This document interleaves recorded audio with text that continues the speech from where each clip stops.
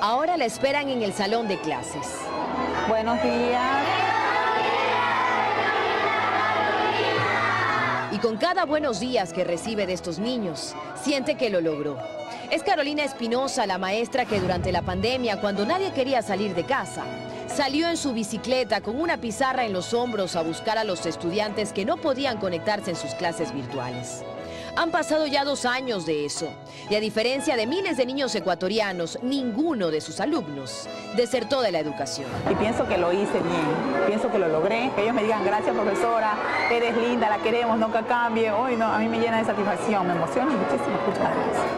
Y si bien los niños a los que educa hoy no son los mismos que hace dos años, Carolina sigue dejando huellas. Hace una semana se graduó de máster en innovación de la educación por una beca que recibió debido a su labor. Me siento completamente satisfecha, feliz, contenta. Alison tiene 10 años, ama a su maestra y quiere ser como ella. Me gustaría enseñarle a los niños cómo ser mejores personas, así como ella lo hace con nosotros. Pero la huella que deja no solo alcanza a sus alumnos, también a sus compañeros. Porque ya hay muchos maestros que ya están terminando también con ella la maestría. Lo mismo pasó durante la pandemia. Todos sus compañeros de la escuela Polibio Jaramillo en Playas salieron a buscar a sus estudiantes. Nos sentíamos orgullosos. Primero comenzó ella, luego vinieron, sumamos uno, luego dos. Solo ocho de los 27 maestros de esta escuela tienen título de cuarto nivel. Y si el gobierno nos diera la facilidad a todos darnos unas maestrías gratis, fuera bueno, ¿no? Ahí tendríamos niños del futuro, porque la educación ahora en la actualidad se ve como una educación mendigada. Durante la pandemia también consiguió 18 puntos de internet que se instalaron en playas, además de tablets. Ya es mediodía, suena el timbre, sus niños se forman y como regla, antes de salir practican las tablas de multiplicar. Se los entrega a sus padres y ella vuelve a casa en Tricimoto. La moto que le obsequiaron tuvo que venderla.